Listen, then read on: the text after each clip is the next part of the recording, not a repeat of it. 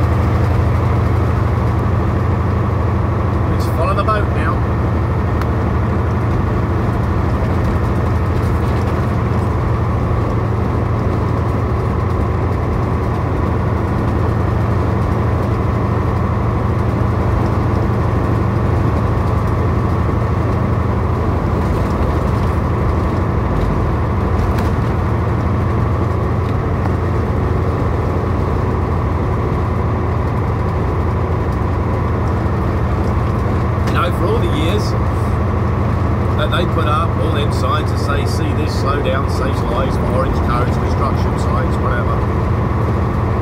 I don't think it's ever sunk in to a majority of people's heads and they still don't give a shit. They'll still drive through construction zones and God knows what speed, so I think it's a waste of advertisement because it never sinks into their heads.